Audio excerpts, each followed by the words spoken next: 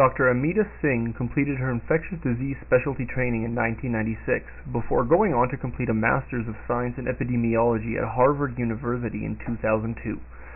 She was the provincial consultant for sexually transmitted and blood-borne infections in Alberta, Canada for 10 years and has been the medical director of the STD Centre in the Capital Health Region since 1998. Hello, Dr. Singh. How are you doing today? Good, thank you. Great. Um, so I'd like to first thank you very much for agreeing to appear on our MediViews.com webcast today. Um, You're welcome. And as you know, uh, the topic of our discussion today will be HIV. Um, now, as all of you know, um, humans can be infected by a whole variety of different viruses. And I guess my first question to you, Dr. Singh, would be um, sort of what unique characteristics of HIV make it so dangerous and as yet uh, uncurable? Yes, th- um, that's a really good question. Um, HIV is what's called an RNA tumor virus. It's a retrovirus, mm-hmm. and retroviruses used to be called RNA tumor viruses because many RNA tumor viruses cause tumors or cancers, um, usually in animals, not so much in humans. Mm-hmm. Um, but HIV is quite unique um, in many ways. Um, the HIV virus itself um, does attach itself to human cells, to the surface of certain types of human cells, um, particularly um, the, the uh, T lymphocyte or T helper cells um, mm-hmm. in the body. And uh, after it attaches to the cells, it then is quite sneaky and it in- actually incorporates itself into the um, genetic material of the human host cell mm-hmm. so that um, it becomes a part of that cell and uh, it can then damage it and destroy it. Um, but also it can stay silent or latent there for long periods and then something will trigger it to start multiplying uh, rapidly, at which point it starts to kill off the cells. Um, the virus is also quite clever because it can um, uh, mutate or change itself very quickly so that as soon as the uh, body's immune system is, thinks it's figuring out how to attack it and destroy it, the virus quickly changes and so it actually evades the body's responses to killing it off. Um, and so that's, you know, those are some of the things that make it quite uh, dangerous. Okay, so that um, uh, just to clarify, that I think it was an important point. The the, the types of cells in the human body which are actually um, affected uh, when someone is infected with HIV are um, the immune cells, basically the lymphocytes. That's right. Okay. And there are certain types of um, immune cells called the CD4 cells um, that are particularly targeted by the HIV virus. Okay, great. Um, now, uh, maybe just to clarify a little bit of a confusion that some people may have about um, the specific issue. Um, What's the difference between um, HIV and AIDS? Yes, that's a good question. So HIV is the virus um, that can cause infection with HIV, mm-hmm. um, but uh, AIDS is the stage of HIV um, where that occurs after HIV has been in the body for a long period of time. Typically, um, it's on an average of about 10 years, but can be as short as a few months or as long as 30 years before AIDS develops. Um, and at that point, many of the CD4 cells have been destroyed and the immune system is very weakened. Okay. And once the person's into that stage, um, then they're at risk of developing certain types of infections. Probably one of the most well-known is a type of pneumonia called pneumocystis pneumonia um, and also certain types of cancers, um, including Kaposi sarcoma, and even, for example, cervical cancer mm-hmm. is considered to be an AIDS-defining illness. Okay, very interesting. So basically, AIDS um, sort of is is uh, part of the progression of an HIV infection. That's right. And occurs in later stages. Okay, now. Um, how common or, or how prevalent uh, is uh, the HIV virus in our society today? So we don't know for sure um, how many people are truly infected with HIV in Canada. Mm-hmm. Um, and the reason for that obviously is that not everyone has had an HIV test done. But the best guess um, is that about 58,000 people in Canada are infected with HIV. Okay. And that up to about 4,500 new people are infected each year in the country. Okay. Oh, wow. Uh, those some uh, still surprisingly high figures. Yes. now, uh, what are the main ways in which the HIV virus um, is transmitted from person to person? Right. So HIV can be transmitted um, in several different ways. Uh, probably the most well known is through the sharing of blood or body fluids. Mm-hmm. Um, so obviously, um, before we used to routinely test blood um, being transfused um, into people, uh, that was a, a good way for HIV to be passed on and through blood or blood products. Mm-hmm. Um, but in Canada today, all blood is um, screened for HIV before transfusion. Mm-hmm. Um, and also through the sharing of blood by sharing of needles um, used for inje- uh, injecting drugs Mm-hmm. um, or needle equipment. So for example, the spoons that are used to heat drugs or the water that is used to mix drugs with, Mhm. if that is shared between two individuals, then um, the HIV virus could be passed on that way. The other um, very good way for HIV to be passed on is through sexual transmission. Mhm. Um, and so all, um, uh, certainly anal um, sex is associated with the highest risk of transmission, Okay. um, followed by vaginal sex. Um, and even oral sex has a very low chance of passing on the HIV virus. Okay. So the last uh, most important uh, way um, that HIV can be passed on is of course from mother to child. If a pregnant woman is infected with HIV Mm-hmm. and she doesn't receive any treatment uh, during the pregnancy, then she could certainly pass on HIV as well to her baby. Okay. Um, and now, what about sort of more um, casual contact, such as um, like hugging or, or maybe sharing a drinking glass with someone who is HIV infected? Um, can you actually acquire the virus in this manner? Yeah, so the virus is fortunately not very sturdy. Okay. Um, so that, for example, if you were to have um, a syringe lying around with um, which had HIV positive blood in it, if it were to stay there for even a few hours, um, the virus will die very quickly. okay. Um, so it's not a very hardy or tough virus that way. And um, certainly it cannot be passed on by hugging or sharing of uh, utensils or the same drinking cups. Um, you really have to have sharing of blood or body fluids Okay. um, so that, you know, even kissing, deep kissing, unless there's sharing of blood somehow, Mhm. um, would not result in HIV being passed on. Okay. And um, I guess so now to just expand on this point a little more because it is um, one of the major uh, routes of HIV transmission, and I think you already briefly mentioned uh, um, it.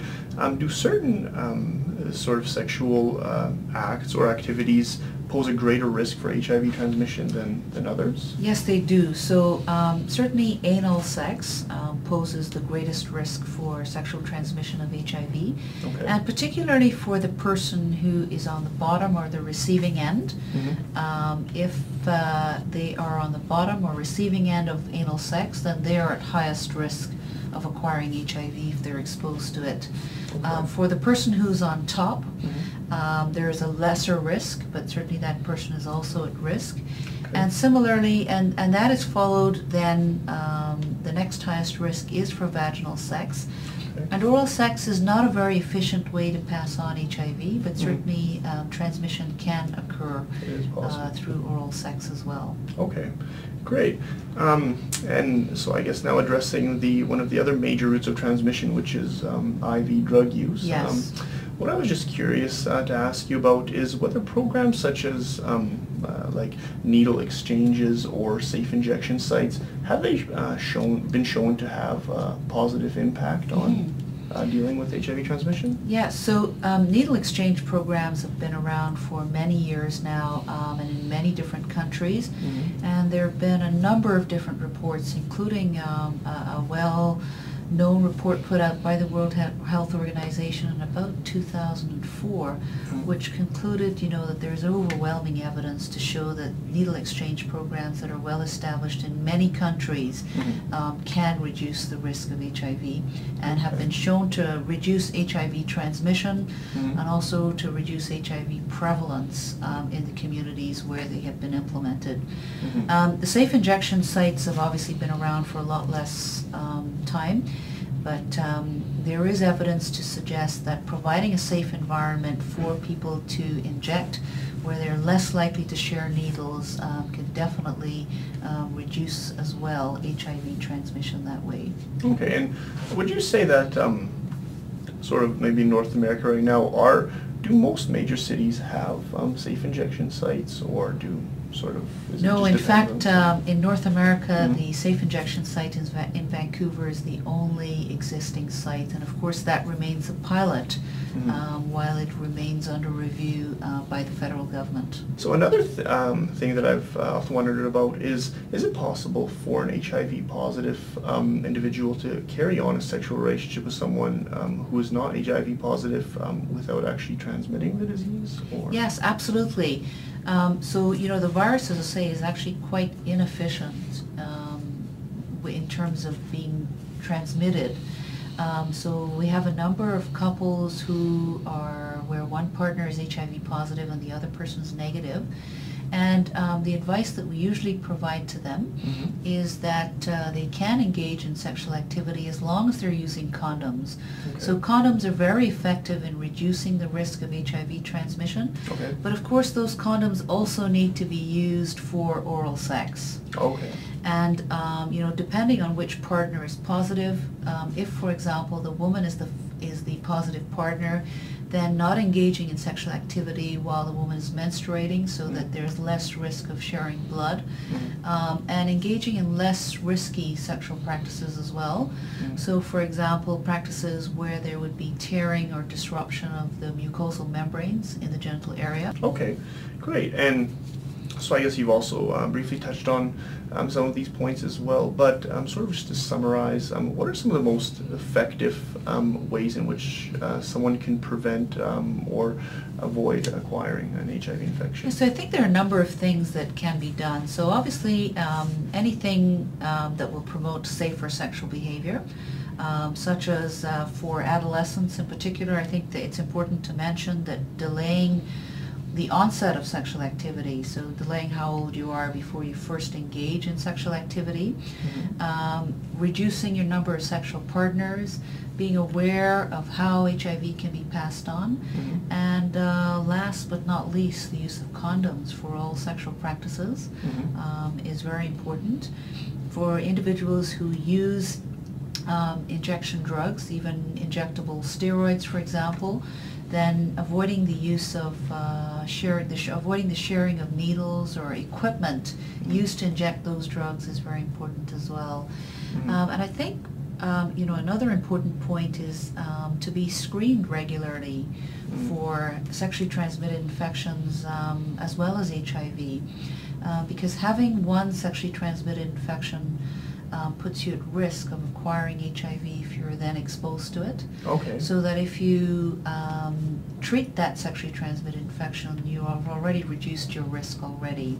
Okay. And um, one of the things, you know, that people might want to consider is before engaging in new sexual relationships, Mhm. is to go get tested Mhm. and make sure that both partners are okay Mhm. um, before uh, continuing with the sexual relationship. Sure, that definitely uh, seems like a reasonable um, Yeah. idea. Now, um, is it possible for an HIV positive um, female to get pregnant um, and not pass along the virus to her child? Yes, it certainly is. So if we were to do nothing um, with an HIV positive pregnant woman, Mhm. the chances of her passing HIV onto the baby is about 25%. Okay. With the treatment that we have available to us today, uh, we can reduce that risk to well under 1%. So it's Oh, pretty wow. incredible. Uh, we can't say the same, for example, for hepatitis B Mhm. or syphilis. Um, but for HIV, we have such good treatments and options available to us Mhm. that if the mother is able to take um, HIV medications from about the third month of pregnancy Mhm. until she delivers, Mhm. and then the baby takes some medications for about six weeks after birth, the chances of that baby acquiring HIV are well under 1%. Okay, wow. Um, so that's uh, definitely good to know. And um, sort of, I guess the main uh, strategies then for a woman who's pregnant is just to uh, have proper um, uh, drug regimens and, and For sure, you know, the most important thing is to get hooked up to see an HIV specialist Mhm. um, from as, as early as possible in the pregnancy. Okay. But it is possible to intervene or to reduce the risk of transmission at any point until the time of delivery.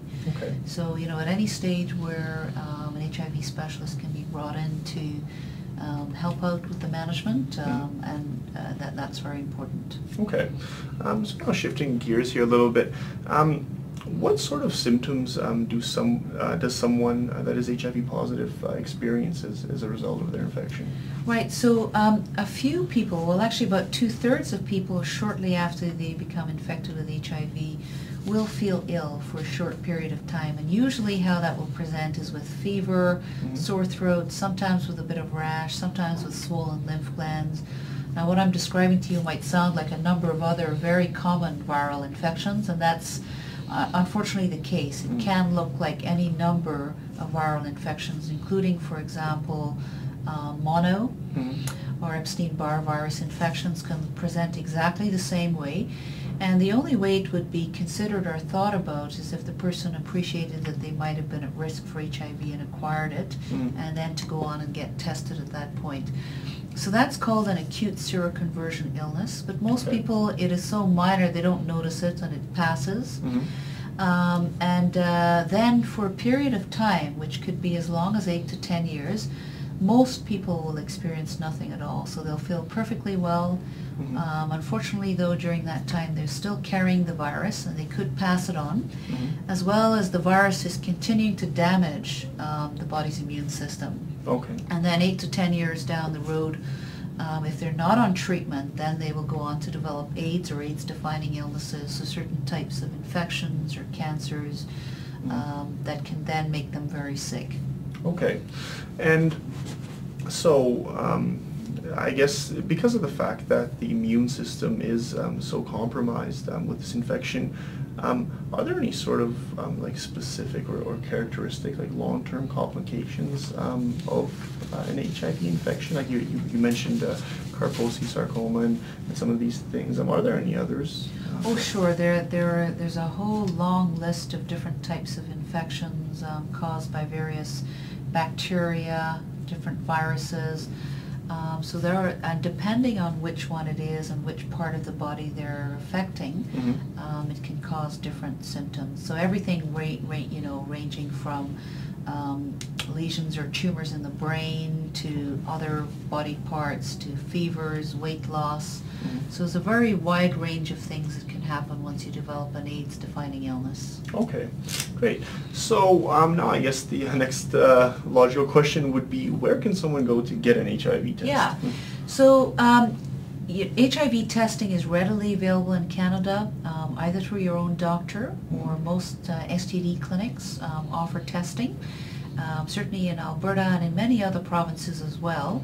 Um, it is um, always possible to obtain completely confidential testing. Mhm. And in some places, it is also possible to obtain anonymous testing. Okay. Um, now, depending on which province or territory that you're in, the rules will be different. So, for example, in Alberta, if you do have anonymous testing, Mm. um, if you're negative, there will be no reason to ever report that test having been done. But if you are positive, then under law, the Mhm. Public Health Act in Alberta, um, we are required to report that individual as being HIV positive to public health authorities. Okay. Okay. Now, for someone who has been diagnosed um, as being HIV positive, um, currently what are the uh, sort of first-line drugs used um, in the management of this disease? Yes, yes. No, that's a good question. So, you know, the number of drugs that we have currently has been rising, you know, almost exponentially since they were first introduced in 1996 or so. Mhm. Um, but currently there are six different classes of drugs used to treat HIV infection. Okay. Uh, but most of the time when we are starting to treat somebody uh, for HIV infection, we'll typically use three different drugs Mhm. from two different classes of the HIV drugs that we have available to us. Okay. Um, fortunately, because we have so many options now, um, we can always find um, a combination that most people will be able to tolerate or take Mhm. because all of these drugs, as with many other drugs, do have a number of different side effects.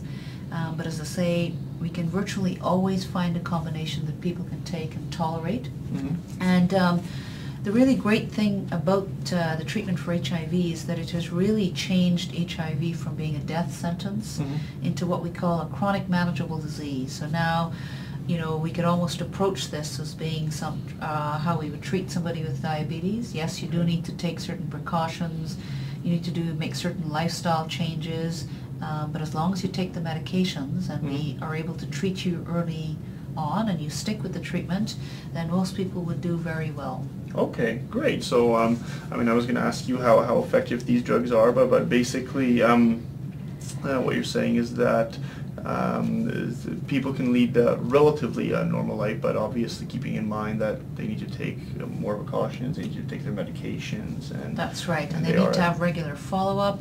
And I guess the other thing is that, you know, that they need to go on to treatment uh, probably sooner rather than later on in the course of their illness. So it becomes a lot more difficult to treat if we start to treat only once you've developed AIDS, when the infection is very advanced. Mhm. Then often it can be very difficult to reverse that situation. Okay. It's not impossible though, Mhm. and um, you know, I've certainly seen some very um, impressive recoveries. What will happen is the immune system will actually recover or repair itself Mhm. um, with treatment, as long as we're able to get it um, at a point where the body's still able to do that.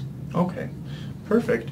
Um, so now, um, my final question to you, uh, Dr. Singh, would be either for someone who is um, HIV positive or, or for someone even who has a loved one um, who has been diagnosed as being HIV positive, um, what are some sort of current sources of, of reliable and uh, accurate information that they can turn to um, for information about this disease?